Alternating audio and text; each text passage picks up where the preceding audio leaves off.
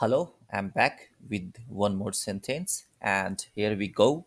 Sentence is Using the techniques employed by genetic engineering, a new species of microorganism has been developed by laboratory scientists to aid in cleaning up oil spills by digesting the oil.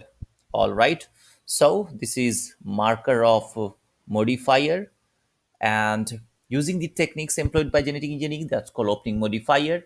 So techniques cannot be used by new species. So that's called incorrect modifier.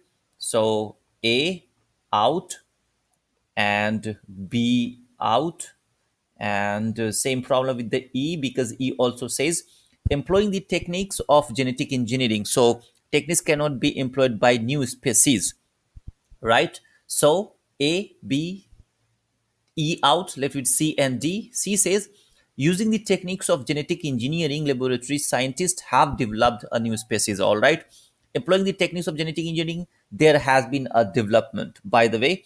So here, this is a exaggeration of developed. That's why called awkward and awkward sentence is not accepted in GMAT. Uh, so D out, C is best choice.